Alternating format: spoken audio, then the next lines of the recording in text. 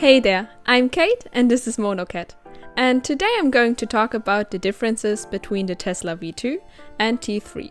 So let's get this started.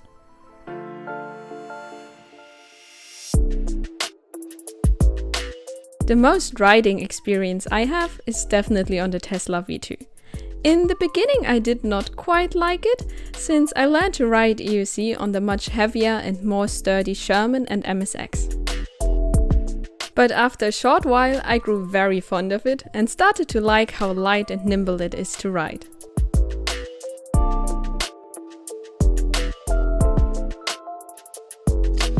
Now that I did over 2000 kilometers on it, I was wondering if the newer T3 that replaced the Tesla V2 in Begode's lineup might be a good upgrade.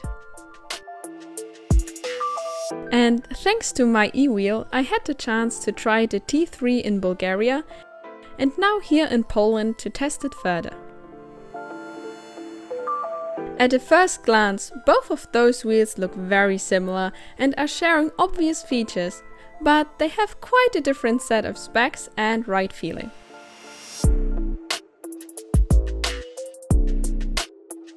The more I was trying the T3, the more I got the feeling that those two wheels are more different and should be seen as just separate wheels depending on what your needs are, and not that the T3 is the new Tesla V2.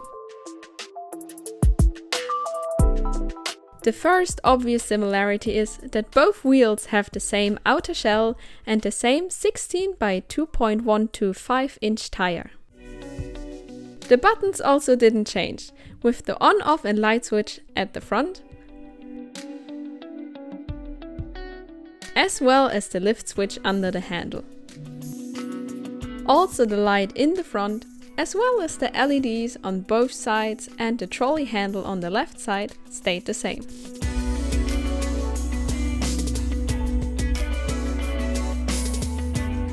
The most obvious difference is the battery size. The Tesla V2 has 1020 watt hours and the T3 has a significant bigger battery with 1500 watt hours, which is the same as the V11 from InMotion. This makes a huge difference in range and weight. On the Tesla V2 I managed to get around 70 kilometers of range as a 60 kilogram rider plus gear and for the T3 it would be around 110-120 kilometers of range.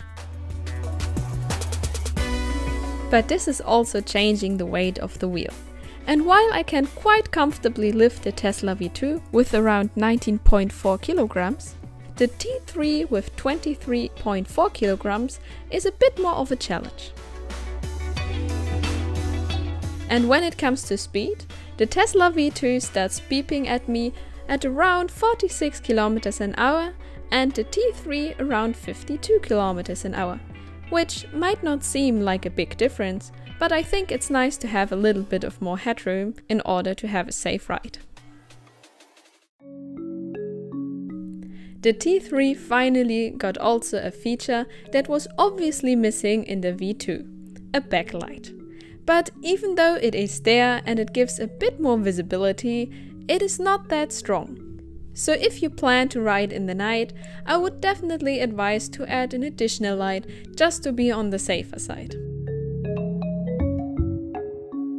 Also something new they added to the T3 is the display, where you can see your current speed, the mode you're in, your battery life, the temperature of the wheel, and the current mileage. In this unit the mileage doesn't work, but I hope it does in others. The next thing that changes the ride feeling of the T3 in comparison to the V2 are the bigger, higher and more angled pedals. On the V2 we changed the original pedals quite quickly to Nilla Nova ones, since the original ones were just too small.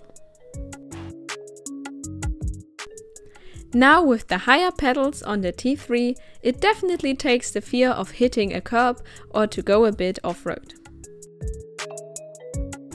The only thing that got changed on the shell is the mesh cover for the speaker and the light with the logo.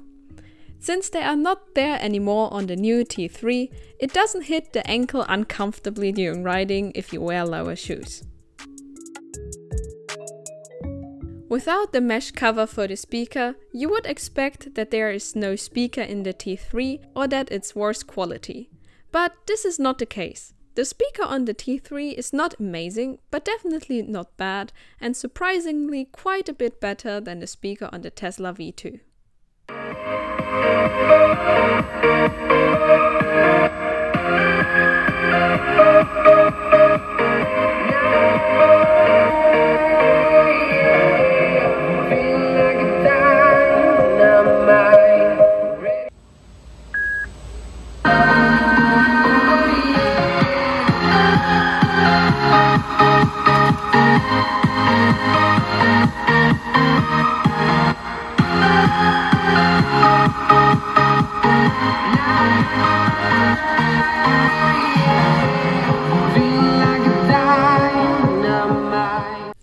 Together with all of this, the T3 also has a new hollow motor and a new black motherboard.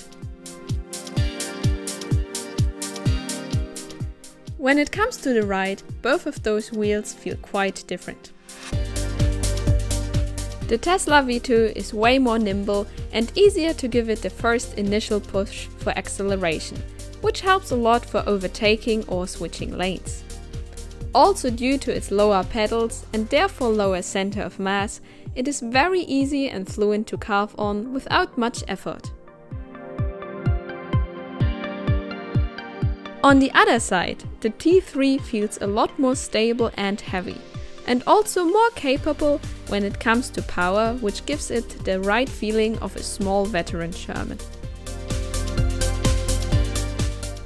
And thanks to the higher pedals, you can turn quick and sharp with it without the fear of scraping a pedal.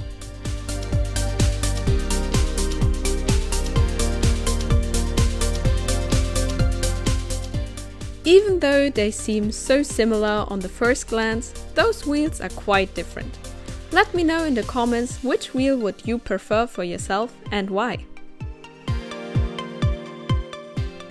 With all those pros and cons, for myself, I actually do prefer the Tesla V2.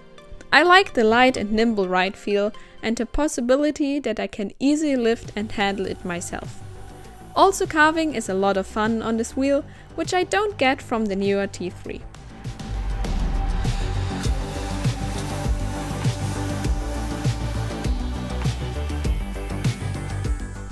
But purely logically, I do think that the T3 is overall the better choice, especially if it's the only wheel someone has and plans to do a bit more riding.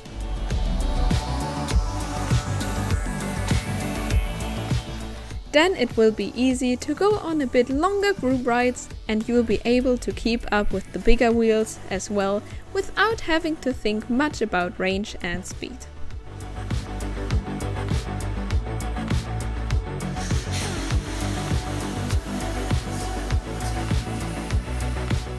But if you do want a smaller wheel, mostly for commutes and errands, and don't need that extra range, the Tesla V2 will do just fine and it's also very easy to ride and easy to learn on for new riders.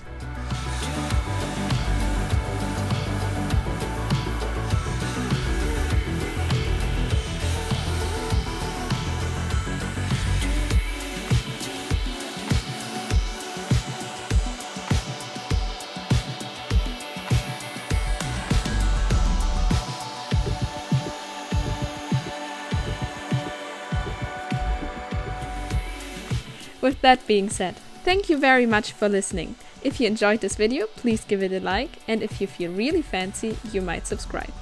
See you next time.